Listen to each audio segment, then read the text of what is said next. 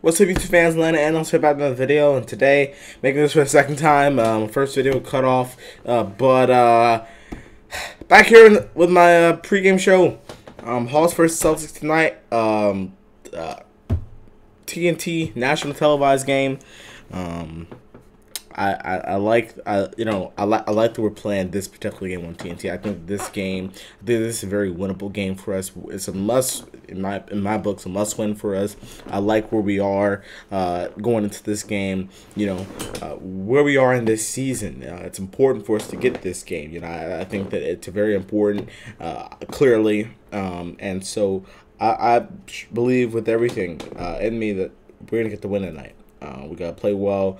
Uh, we got to, you know, we've beaten Boston twice already, uh, with them at full strength and us not. Um, and so, you know, we, we should have won um, against them last time, uh, but we didn't. So we got to, you know, we got to go up there and beat them again. Well, beat them for the first time up there. Uh, but we got to go up there and we, we just we just got to come out and, and set the tone. Um, defense has to be good. We got to hold one of their stars uh, to at least under uh, 25 points. You know, one of them's going to go off. Either Tatum or Brown's going to go off. Uh, usually it's Ta usually it's Tatum against us. Uh, if we can keep Brown kind of contained uh, to the point where uh, when he does go off is not enough, then that's a really good thing. We can't let their role players have big nights, and, and if they do, no one else has to have a big night. Uh, so we just gotta really contain them, uh, play well. You know they're a really tough team. They've been playing good basketball here lately, except you know they just lost Indiana. Pretty embarrassment for them.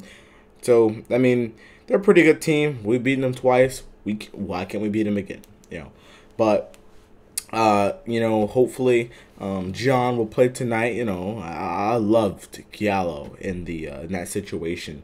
Uh, but you know, the more guys, the better. The more strength we have. I love. I was just uh, saying this. Look, I love when we're healthy. I love our roster healthy. Um, we we win games when we're healthy, and I, I think that that's a really good thing. But um, but yeah, guys, uh, Hawks play 7:30 TNT against Boston Celtics in Boston. Uh, I will see you guys uh, my halftime show, and uh, hopefully with a win uh, tonight. But uh, I'll see you guys then. Y'all have a good one.